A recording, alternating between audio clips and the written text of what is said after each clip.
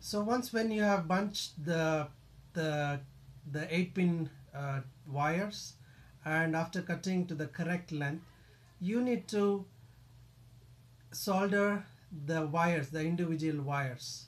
So this is the encoder at the at the uh, back of the encoder you'll see below three three pins and above you'll see two pins so the the two pins is actually the the switch. When you press uh, when you press that will go to the menu. So that that the two pins is actually the terminals for the switch.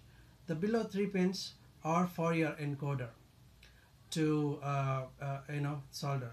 So the first the first pin you need to uh, solder the black wire always at the center that has to that has to be yellow.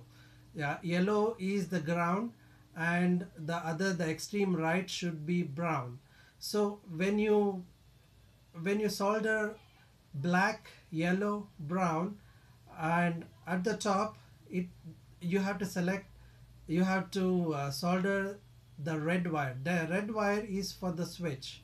And the other has to be the ground. So the center the yellow and the the top has to be in in in uh, continuity because that is the ground.